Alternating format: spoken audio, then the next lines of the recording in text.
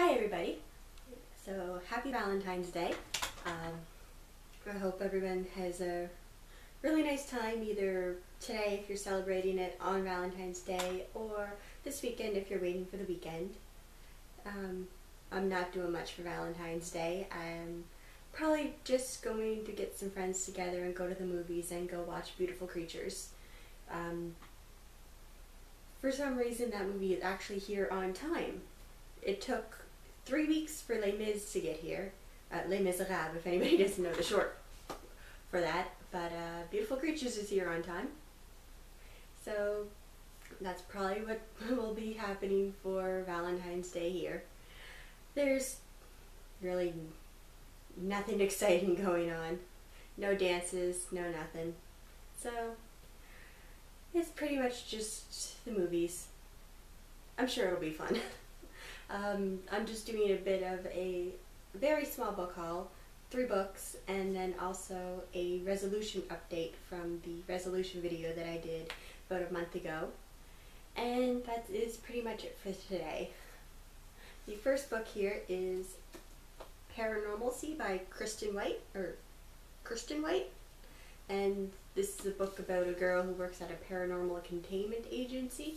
And there's lots of supernatural creatures involved. It's a it's not an older book, but I think there's already the three books in the series out already.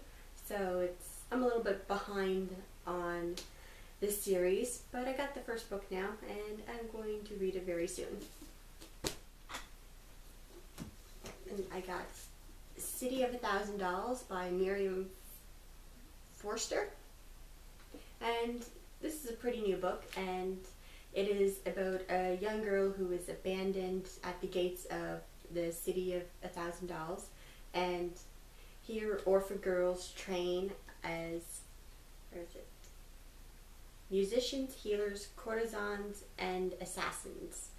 And one by one, girls are starting to die, and the main character is trying to figure out what's going on before she becomes the next victim. So this sounds really good. and then the other book here is The Indigo Spell by Richelle Mead, which is the third book in the Bloodline series, which is a spin-off of the Vampire Academy series.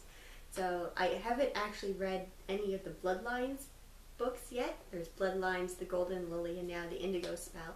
But I have read about half, I think, or three or four, no, just three books in the uh, Vampire Academy series. And I really enjoy that series. It's just taken me a while to get through it. So I'm eventually going to get around to the Bloodline series as well. Um, I'm a little bit nervous about the Bloodline series though, considering that it's a spin-off and I really don't think my favorite characters from the Vampire Academy series are in this one, so hopefully I like some of the characters in this one just as much as I like the characters in the Vampire Diary or Vampire Academy. I'm getting my vampire books mixed up. and then right now I am reading Ink, uh, Ink Exchange by Melissa Marr. And this is the second book in the Wicked Lovely series. I'm about halfway through right now. Um, and then after that, I'm going to start The Madman's Daughter by Megan Shepherd. Really excited to read this one. And she's also, this is her first book, so it counts on my debut authors challenge which is going to be very good because I'm a little bit behind on that challenge. I have only read one debut author so far this year. I'm not too, too worried about it though because we are still in the middle of February and I know there's a lot of good books coming out this year. Um, and I'm almost actually done some of my other challenges. I have read four classics so far, so I may actually up my five goal to ten. Um, so far I have read Les Miserables, which really should probably count as two or three books considering how it's about 1200 pages long. I have read Anne of Green Gables, I have read Dracula, and I have read Little Women. So there's a lot more classics out there that I either want to read or reread. So upping the challenge to 10 is probably going to happen. Then in my 100 goal or 100 book goal, I have read 28 books if I don't include novellas, 30 if I do include novellas. So that's probably going to get upped as well.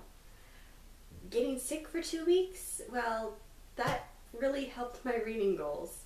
I kind of just lied in bed and read, and I flew through almost all of the Sookie Stackhouse series.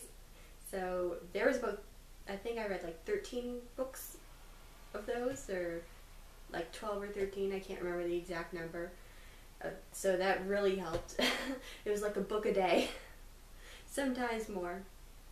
Um, so there's, that one's probably going to be up as well. Then I have on Goodreads, I joined a contemporary challenge because I really do want to read more contemporary books this year. And I have read four contemporary books so far this year out of the 10 that I've challenged myself. So that could end up getting upped as well because there's a lot of contemporary books out there that I've always meant to read, I just never got around to reading them, and this gives me the perfect excuse to actually finally force myself to read them and put away some of the paranormal books that I just seem to be drawn to all the time. Um, but, so I'm gonna wait until I'm probably seven or eight books into the challenge before I think about upping that one. But chances are we'll probably be upped. And strangely enough, the challenges that I'm falling behind on are my movie challenges watching classic movies, watching first time directors, and I thought that was going to be the easy part of the challenges because, you know, it takes absolutely no energy to sit down for two or three hours and watch a movie. But I am just not finding myself in a movie mood lately, I guess. Um, but probably this summer I'll catch up on those. Lots of times, um, They've got a big screen down at the beach that they set up and they'll show old movies at night. So if you can brave the mosquitoes, it's a really good place to go and watch. Um, and that'll be really nice to watch with a lot of other people as well. And I know there's a lot of film festivals that come out throughout the year and lots of debut um, directors there, so I'll eventually catch up on my movie challenges. I'm just not too worried. I'm going to stick to my really reading challenges right now and really start working on those. So that's all. I hope everybody has a really good Valentine's Day. And I'll see everybody next time.